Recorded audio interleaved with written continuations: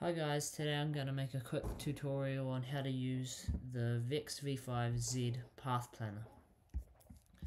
So first thing you want to do is you want to come into your browser and you want to search up GitHub. Um, so you're going to come to here and you're going to come up into the search box up here, click this and you're going to search up Vex V5Z Path Planner. And first one here that comes up, click on this and give it a star while you're there.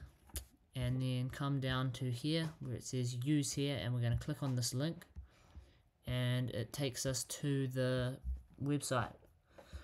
So the first thing that you can do is you can make a straight line with two points, um, add more points after that. You can drag your points around and then you can go click the play button and the robot will follow your path. At the so the white line out the front is the heading of the robot. And okay say that we want we're here but we want to make a nice curve around here. So what we're going to do is we're going to right click on here and it gives us these two blue dots.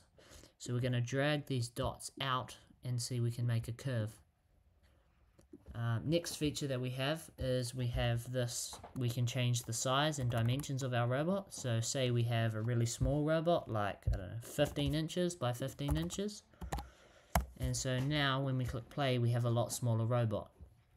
Or if we want, we can change it to 18 by 18. And now we have a bigger robot.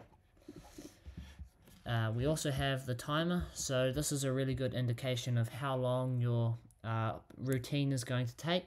Uh, really good for your skills runs and that sort of thing. Uh, which if you click, you can toggle skills or normal uh, field layout. Uh, next thing that we can do is we can click save path and it saves our path so that we can come back and edit it later. So if we reload the page, obviously re everything resets, but we can click load path, come to our downloads, this one here, open, and we've got our path back. Um, so yeah, that's the V5Z path planner.